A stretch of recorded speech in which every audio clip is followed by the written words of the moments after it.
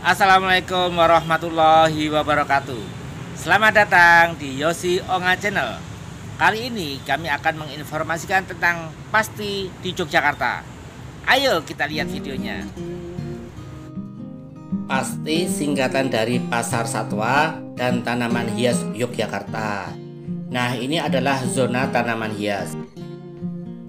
Bunga anggrek ini dijual seharga Rp140.000 Agar bunga anggrek tumbuh subur, perlu diperhatikan cara merawatnya.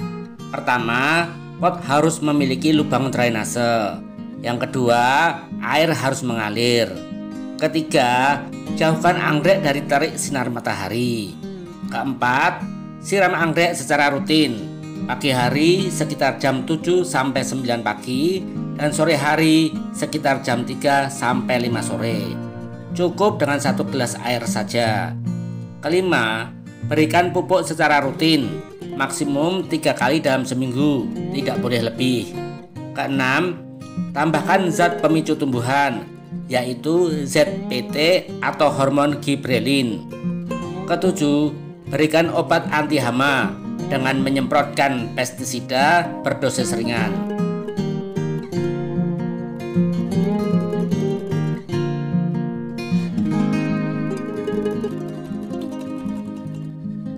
Bunga mawar ini adalah jenis tanaman semak dari genus rosa. Bunga mawar mempunyai nilai ekonomi yang penting sebagai bunga potong dan bahan baku minyak bunga di industri parfum. Mawar juga identik sebagai simbol rasa cinta dan kasih sayang. Ini adalah bunga asoka. Menurut keyakinan agama Hindu, pohon asoka dianggap pohon suci. Di bulan April dan Mei, setiap tahunnya, pohon ini akan mengeluarkan bau yang harum pada malam harinya. Tanaman ini sering diasosiasikan dengan cinta dan kesucian.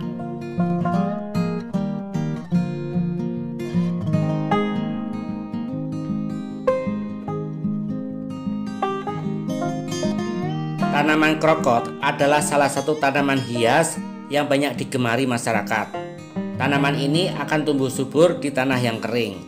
Harga tanaman krokot sekitar Rp7.000 sampai dengan Rp8.000.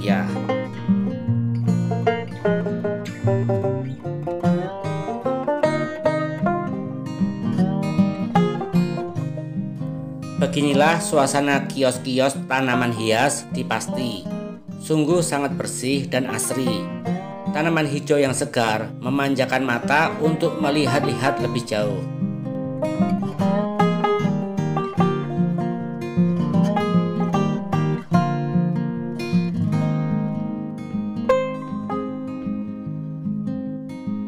Nah, ini adalah bunga pancawarna. Harga jualnya sebesar Rp50.000. Bunga pancawarna atau hortensia memiliki makna yang beragam. Kaisar Jepang menggunakan bunga pancawarna sebagai permintaan maaf.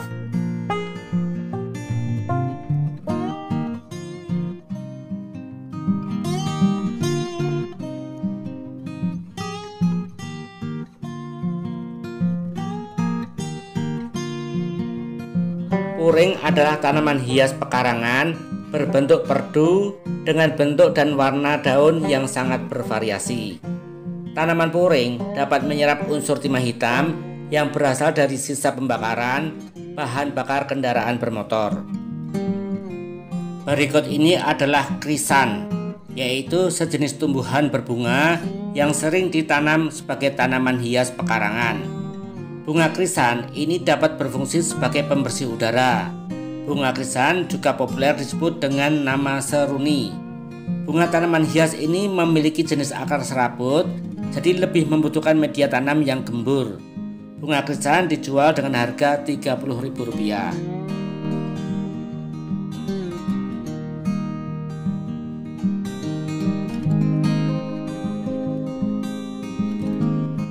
Kastuba adalah tanaman subtropis yang berasal dari Meksiko Selatan dan Amerika Tengah. Kastuba dijual seharga Rp30.000.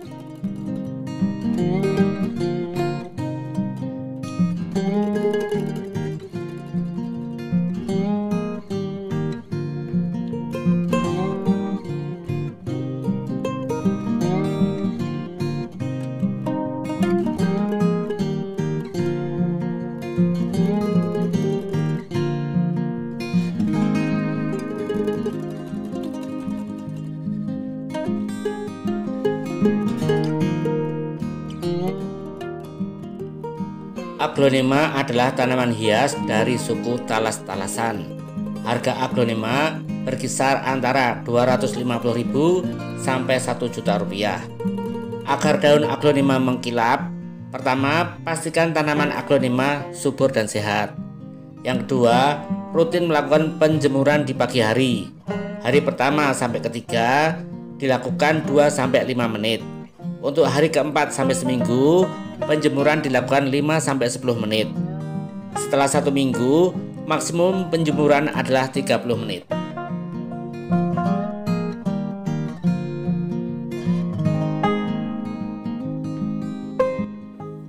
Dengan mengusung konsep pasar dalam taman, pasti memanfaatkan 2 per 3 dari lahan sebagai ruang publik hijau yang syarat dengan tanaman hias dan pepohonan.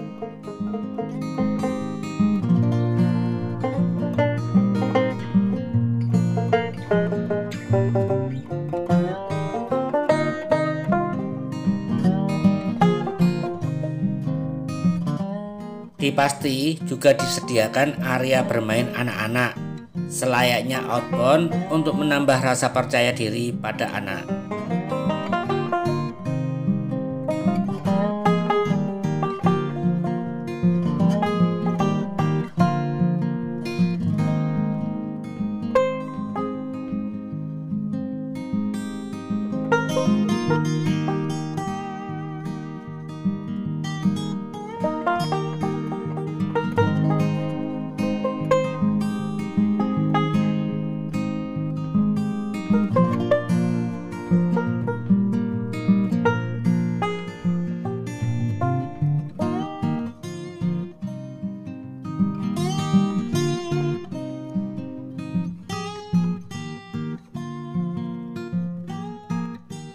Fasilitas lain di Pasti adalah panggung hiburan. Uniknya, tempat duduk di area panggung hiburan terdapat pesan moral yang menggelitik.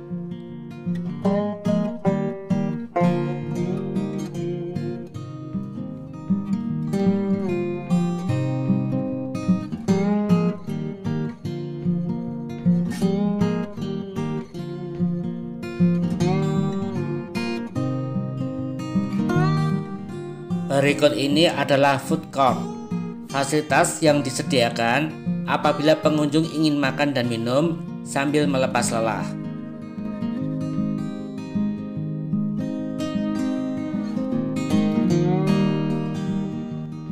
Untuk remaja, pasti juga menyediakan fasilitas skate park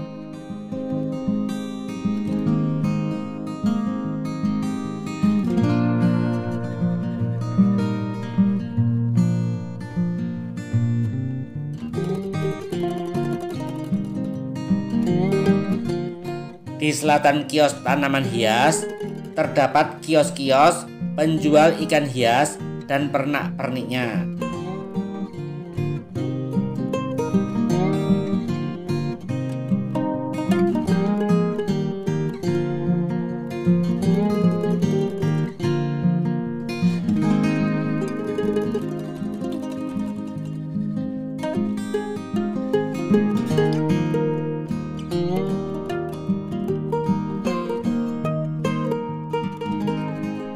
Yang diresmikan pada tanggal 22 April 2010 berlokasi di Jalan Bantul kilometer 1 Gedong Kiwo Kecamatan Mantri Jeron Yogyakarta